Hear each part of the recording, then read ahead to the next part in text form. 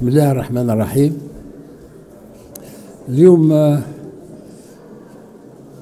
مرت على الثورة ثورة الحرية والكرامة ثمان سنوات. مش برشا. في حياة الشعوب والأمم. ولكن آه، سنوات هامة. لأن كما نقولوا إحنا في تونس الخط على الأولو الثورة هذه يلزم نذكروا قاموا بها شباب تونس نساء ورجال. والشباب هذا من خاصيته ما كانش مؤطر.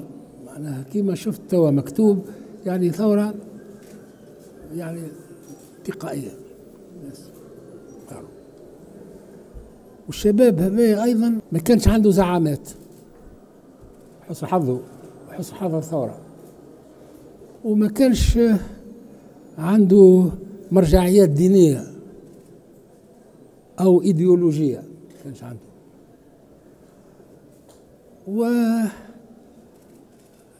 وضحى من أجل بلاده هكا لأن كانت ثم أسباب يدفع إلى هالشيء هذا. على كل حال في مثل هذا اليوم لابد أن نتوجه بالرحمة. ترحموا على أبناء تونس وبنات تونس اللي استشهدوا في هالفترة هذه. ولابد أن نذكر أنا حسب اجتهادي أنا لأني اللي أتكلم فيكم أنا ما شاركتش في الثورة. سألوني قالوا لي وين كنت؟ كنت قلت في داري عندي عشرين سنة. لكن الشيء اللي عملته وما يلزمش إنسان يتكلم على روحه قدام التضحيات هذه. هو كونه منعت الثورة من الانزلاق في حمام دم. وخليتها يعني ثورة يعني باش تحقق أهدافها إن شاء الله. قلت في ذلك الوقت يعني ناس ضحات من أجل تونس. ويلزمنا نترحموا عليهم شهداء. شهدائنا الأبرار وكذلك أيضا الجرحى. هما ما زالوا توا يئنوا تحت الآلام. والحمد لله وأن يظهر اللجنة المكلفة بإحصاء ضحايا يعني آه، أبناء الثورة كملت أشغالها. اللجنة هذيك اللي تكونت من زمان اللي يرأسها الأستاذ توفيق بودربالة كملت أشغالها. ما عرفش توا يكون عندها عام اللي كملت أشغالها. وإن شاء الله معناها القائمات هذه تخرج في الرائد الرسمي باش كل إنسان معناها يعرف شنو مشاركته في الحقيقة هذه وشنو واجب التوانسة من أجله ونترحموا أيضا على أبناء أبنائنا من الجيش والحرس. والأمن اللي زاد استشهدوا بعد ذلك في ظروف التاريخ يذكرها. كانوا مكثروش ياسر في كل واحد يعطي روحه حاجة معناها مش صحيحة. التاريخ إن شاء الله يذكرها.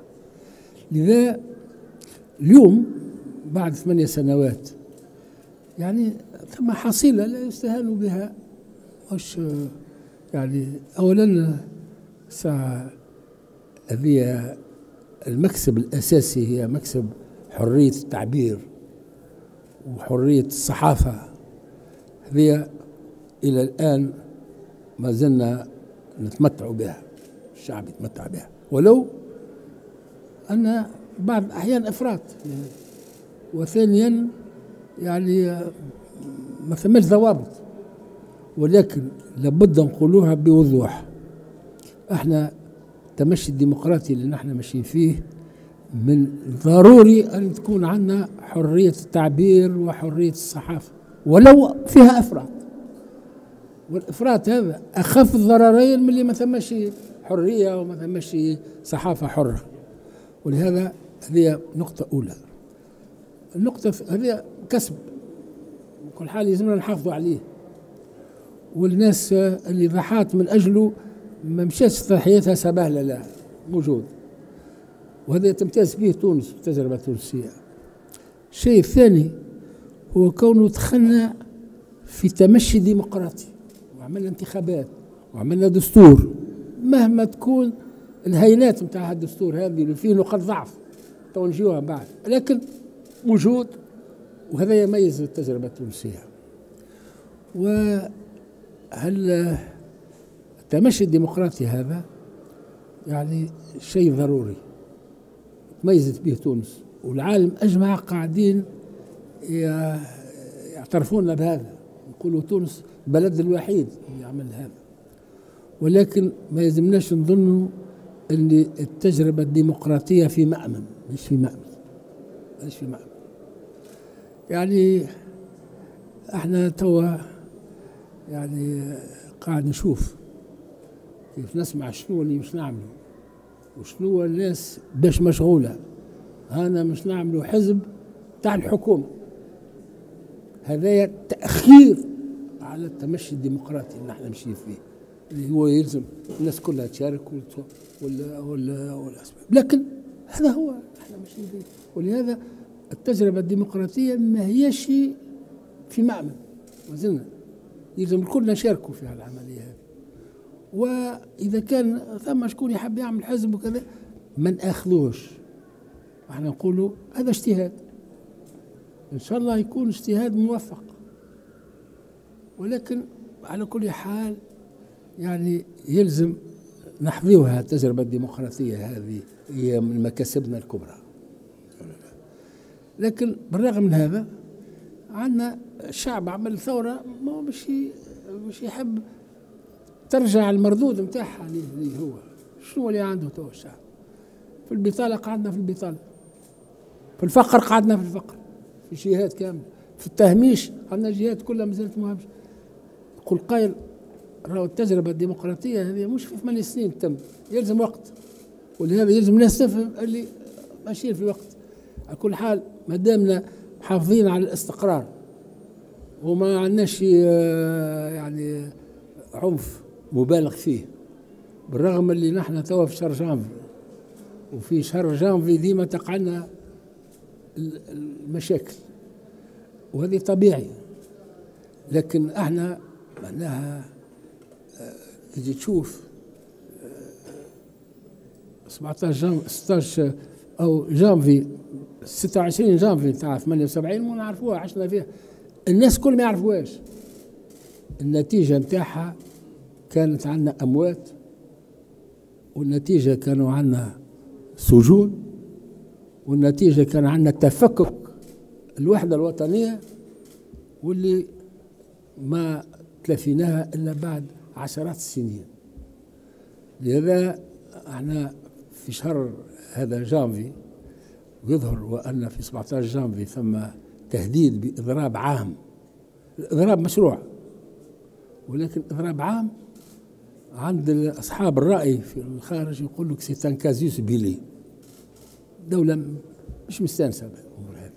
وعملنا واحد إضراب عام وتعرفوا شنو النتائج فيه. وإن شاء الله ما عادش يرجع. ولهذا يلزمنا بكل صورة من الصور معناها نمنع أو نحدوا دون هالأمور هذه إن شاء الله. إن شاء الله. كل حال ما زالوا آه، قداش ثلاثة أيام.